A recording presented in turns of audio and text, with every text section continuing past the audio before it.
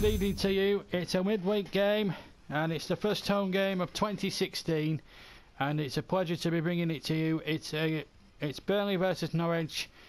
Um, obviously, we're now top of the league after that uh, fantastic performance at Stamford Bridge with 10 men for the last 12 or 12 minutes. It was just a workmanlike performance, and sometimes when you need to when the, when backs are up against walls and stuff like that, and you you're facing adversity, especially away from home, to get a result like that was unbelievably superb. So it, everyone's still buzzing off that uh, result.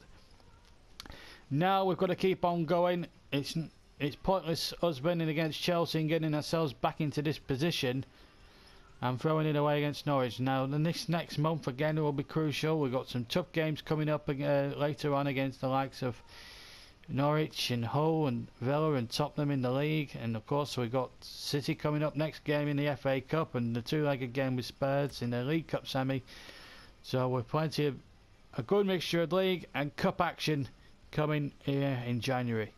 So let's go to Turf Moor for the match with Norwich Remember the game at Carrow Road back earlier on this season ended 2-H. So let's get over to the turf and see if we can keep our winning, winning run going against Norwich City at Turf Moor tonight. Good evening to you, welcome to Turf Moor, a very snowy Turf Moor in fact, Norwich in the bottom three. There was a whisper earlier on this afternoon that the game could be called off but the, the ground staff have done a monumental job and even though there's fallen snow on the pitch. The referee has deemed it playable, so we do start the game tonight. And that's a credit to the ground staff here at Turf Moor and to the referee for the inspection and passing this game fit. So let's take a check on the two teams. Burnley unchanged from that fantastic, well, fantastic performance. Well, in fact, one change. Uh, Stephen Ward comes in for the suspended Luke Shaw, who got sent off in that game and that's the only one change. Frank Lampard and Danny Ings keep their places. Let's look at Alex Neil's side, who ran Burnley Marketing Course, actually drawing 2-2. Lewis Grabban and Cameron Jerome up, up there up front. McGrandles number 38 could be some unknown quality. Ricky Van Wolfswinkel is amongst the substitutes, so too is, uh, is Gary Hooper.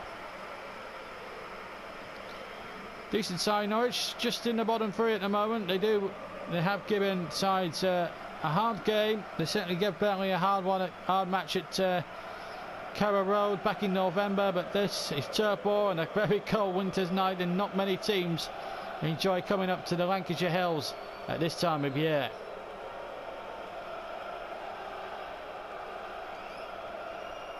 The referee, who did a marvellous job in making sure that the game was past playable tonight, Michael Oliver from County Durham. And we got the fluorescent ball. We have fluorescent canary shirts uh, from Norwich. They're in their traditional colours. Burnley, of course, need I remind you, in claret and blue. So away we go. So Burnley looking to follow up this fantastic performance at Stamford Bridge on Sunday with another hopefully a good win against Norwich but the conditions of the pitch will make it very difficult for good football. I mean we're lucky really to have a game on tonight.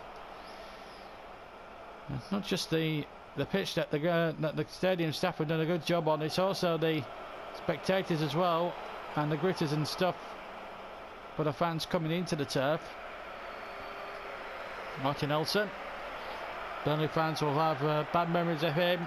He blatantly dived to win a penalty in a East Lancashire derby five years ago when Blackburn undeservedly beat Burnley by a goal to nil. Burnley will be lucky to put one over him this evening. Corner comes in. And it wasn't...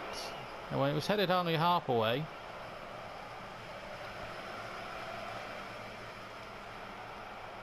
Norwich really played very well in the first match at uh, Carrow Road back in November.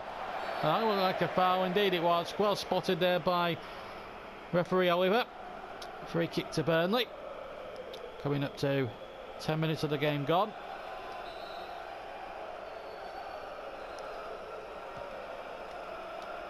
A tough old fixture list that Burnley have got. And it's uh, FA Cup on Saturday for them. For the Clarets, well, for everybody really involved in the Premier League. It's their participation in the third round of this season's FA Cup. Always a great day in the calendar, and it's great to be bringing FA Cup action back here. It's a chance though for Norwich, and Heaton half stopped it, and then it was hit off the line. But I think I don't know where the defence was. I think it was Ward who got back there just in the swiftness of time to knock it away. Norwich, in fact, could have uh, gone one up instead of which they've got a throw halfway inside the Burnley half.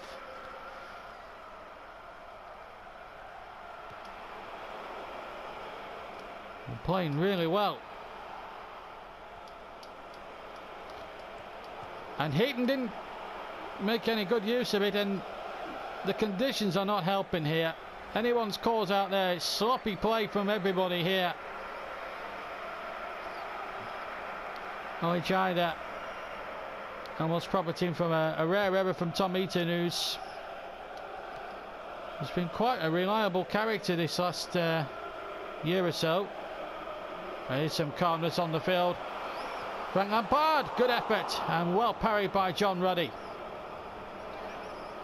And it's a corner to Burnley, and it's their first of the out of the uh, of the evening. Good eye for Ruddy, palming it away very competently.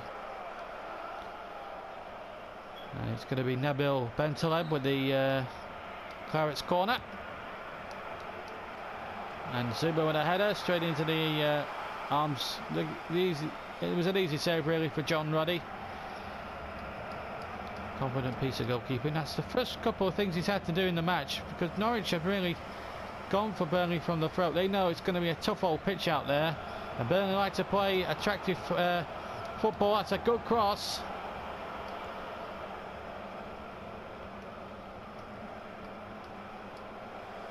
Here's Lampard. Goal kick. 29 minutes gone.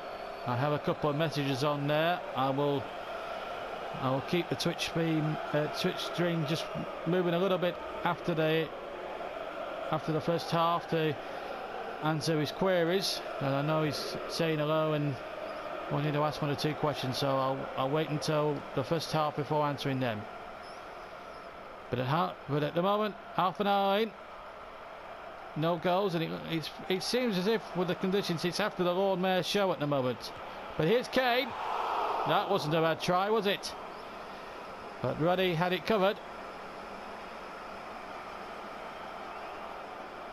And that post very covered, in fact. The conditions don't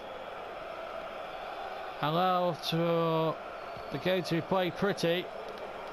And we're just thankful that we have a game on tonight, really. The snow did come down in draws earlier on this afternoon, around 2 3 o'clock in the afternoon.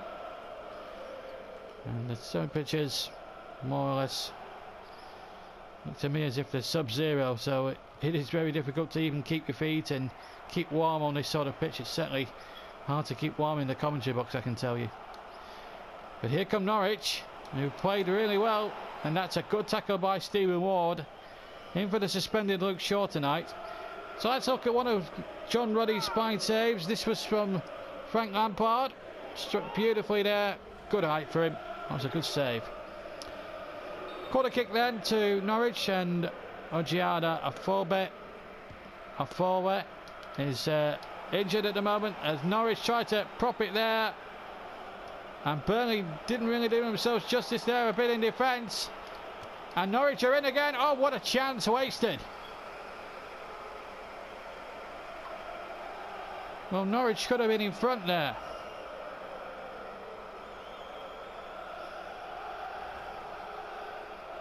Well, we've got 42 minutes on the clock. And still no score. We are heading, or hurtling rather, to towards half time here.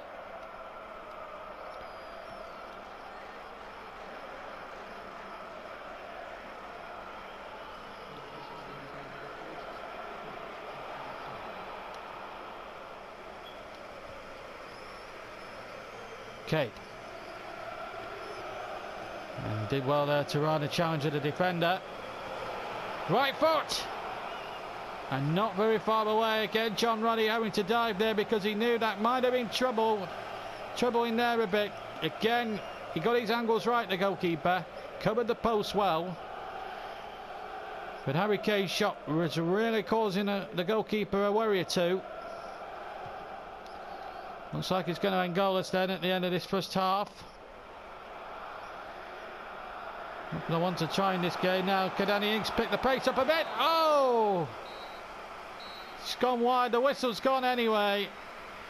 Well, we've had chances for both teams, but still here in the snow, but no goals to show for the effort. It's a bit like after the Lord Mayor show after the Chelsea game. Half time here at Turf Moor, nil Welcome back to Turf Moor, where we have a double substitution here. Ashley Barnes and Ljungberg are going to come on. Harry Kane and Frank Lampard, who's became rather tired towards the end of the first half, so fresh legs needed. Heavy pitch doesn't help matters when there's snow on the pitch. It really makes it rather heavy. Nil nil in as we go into the second half. Barely going towards the kicking towards the Jimmy McIlroy end. And here's Barnes, first touch and first opportunity to see what he can do, and a good save by John Ruddy. Positive start there by one of the substitutes.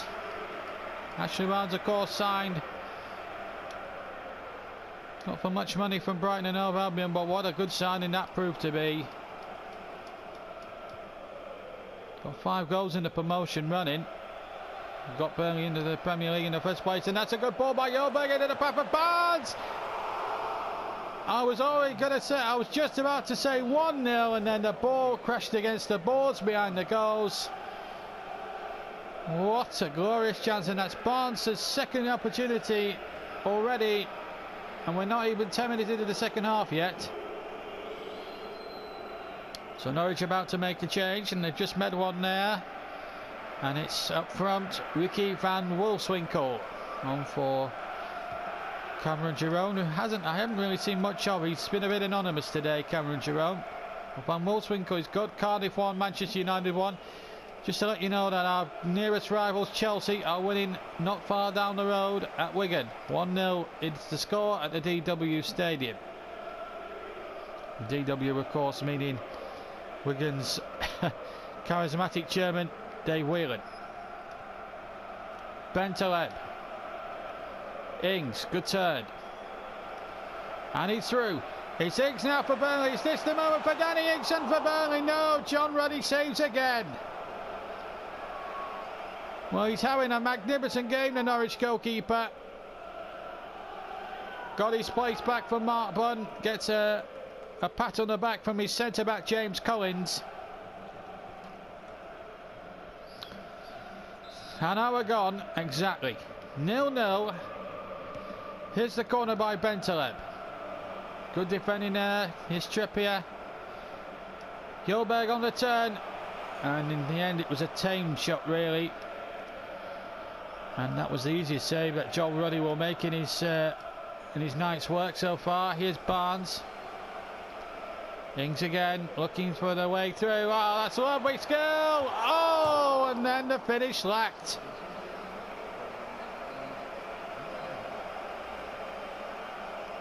Wonderful build-up, and the skill was phenomenal, and then the finish just wasn't there. Meanwhile, a second Norwich substitution is taking place. Lewis Grabban comes off, and on in his place, I think is Gary Hooper. Indeed, it is. So another striker for striker, like for like substitution. Two um, two Adels. Also, central midfielder for a centre midfielder and a striker for a striker from Burnley as well. So all substitutes at this particular moment in time all like for like replacements. Meanwhile, Norwich now on a counter attack and a corner given. And a chance for those four and a half thousand Canaries to go wild as we see another of the line of the series of John Ruddy saves. That one from Ings with his feet. That was quite a magnificent piece of goalkeeping. So a corner to the Canaries. Dedelia Smith there in the director's box I can see. Cheering a team on. And this time Burnley win the header. But it's coming back at them again.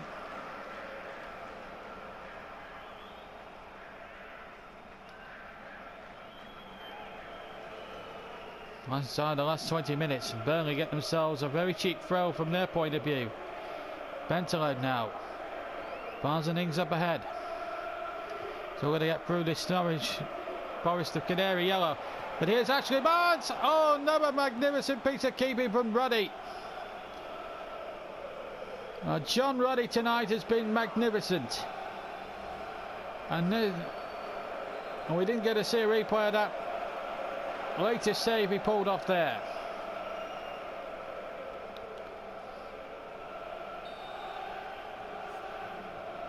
Burnley might have a, a trick up the seat. They're going to try Oxlade Chamberlain from this side now to unlock this Norwich defence, and it almost worked. Zouma got up, not a ball. In fact, it was Nyang, in fact, who got up there. And in the end, no real threat to John Ruddy and his goal. Well, it tells the story that Burnley have been on top, but just haven't been able to beat John Ruddy. If there was to be a poll for any Norwich fans who have come up to Lancashire today for their man in the match, I think they'd probably put John Ruddy at the top of their list.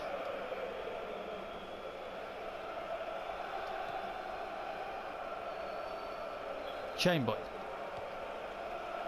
The ball to Barnes. And uh, it was hooked away again by the Canaries, who have uh, defended stoutly. The goalkeeper's been magnificent, but here they come now on the counter attack. With less than eight minutes to go. Zouma trying to get across there. It looks as if Norwich is just playing for a point or so the thing is a bit of a negative thing to do but Zouma's won the ball back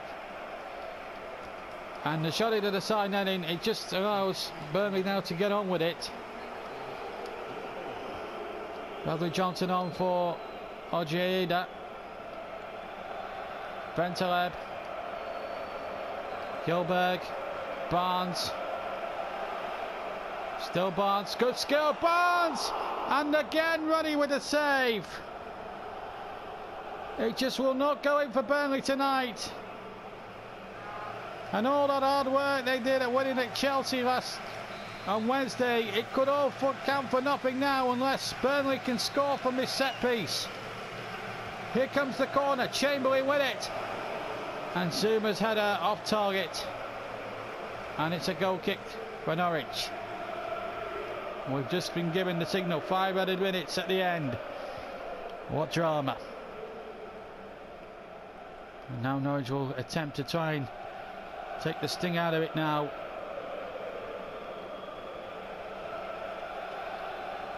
Chamberlain wins the ball back. Barnes battles for it. Ljungberg has it in the midfield. Bentaleb. And the referee has blown, and that's a frustration because Burnley had a good attack going there, but Norwich have got a point, and John Ruddy was the hero. Save after save to deny the likes of Ings and Barnes. And Burnley's hard work against Chelsea, all for nothing. No, it's frustrating. and I'm trying to see the funny side of this because it's um, at the moment I'm I'm finding it hard to be funny about it because uh, to laugh about it because that was we thought there might have been three crucial points in the in the running for us there and John Ruddy I'll give Ruddy a lot of credit because he did magnificent and uh, I don't know what we could have done, to be quite honest. I mean, we've got Luke Shaw back now for the next game. He will go straight into the side to replace uh, Ward. And you look at this injury list. I mean, now... Um, I mean, before we look at the league table, and I know, we, uh, as it happens, uh, Norwich 1-2-0 as it happened, so...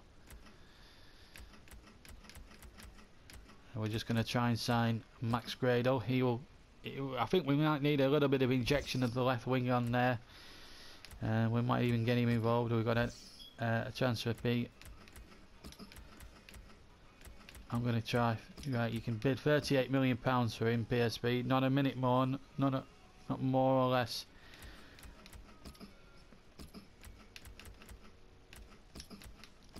You know, if you want your, if you want my best players, you have to play top dollar prices, and that's, you know, that's, that's the way I operate.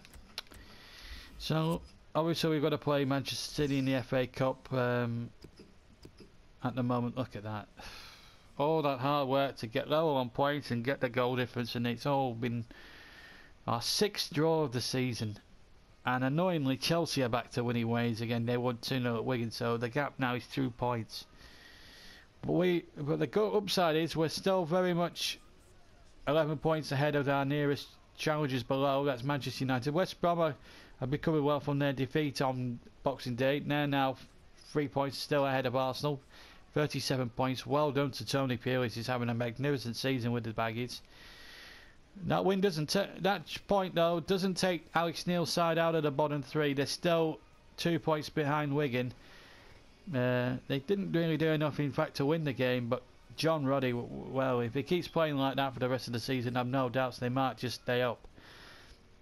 Southampton and Cardiff will be looking over their shoulders now, even though there there's a gap of five points between them and Norwich.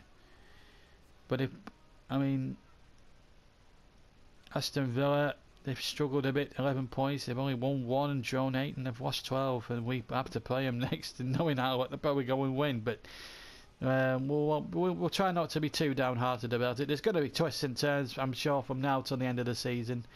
I've done career modes in the past where I've been in, behind in this stage and still won the league on the last day. So it's all part of the charm of the title race. Um, we might be two points behind, but you you never know. Chelsea could drop points against the likes of United or City or Liverpool. You don't know, and that's the that's the beauty of the game. Anyway, we'll be back for on Saturday with a cup uh, with an FA Cup third round match, and well, it's a tasty one, isn't it? We're away from home. We're at the Etihad. We're against Manchester City, where we we're going to repeat that classic classic League Cup quarter final where we won after extra time. So be sure to join us for some cup action on Saturday. Until then, I'll you take care and I'll see you later. Bye bye. See you later. Bye bye.